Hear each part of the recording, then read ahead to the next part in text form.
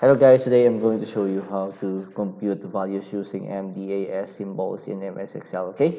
So all you need to do is listen carefully and focus to your screen monitor. Open your Microsoft Excel. In this uh, video, you will learn how to use the formula, the multiplication, division, addition, and subtraction.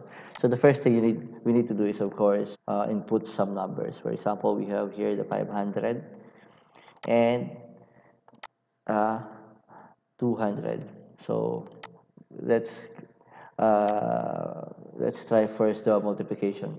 Equal sign and then click 500 okay and then use the asterisk okay? Use this multiplication sign the asterisk sign and then click the next cell the 200 and hit enter. Now you have the 1000 okay so this is your answer in multiplication. So let's put here multiplication multiplication.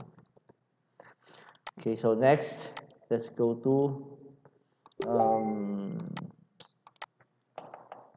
division. I MD yes division. So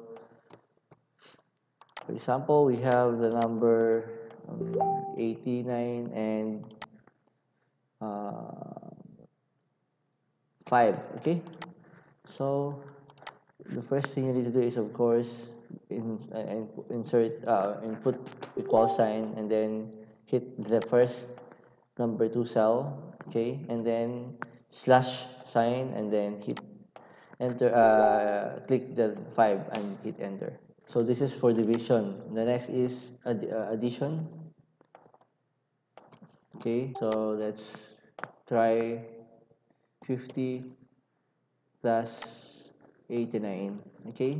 So if the first thing you need to do is of course equal sign and then click the number you want to add and of course control sh uh, shift plus sign and then next and enter. Now you have 139 okay? The next is um, addition subtraction MDAS subtraction okay subtract. Okay for example we have here the 70 so minus 10 and then all you need to do is again equal sign go to first cell and then use the minus sign and then hit uh, go to next cell number 10 and then enter. So you have the answer. So these are the answer.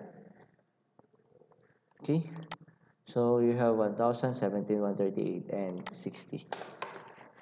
So that is what we call MDAS. Multiplication, division, addition, subtraction. So that's how you do it in Microsoft Excel.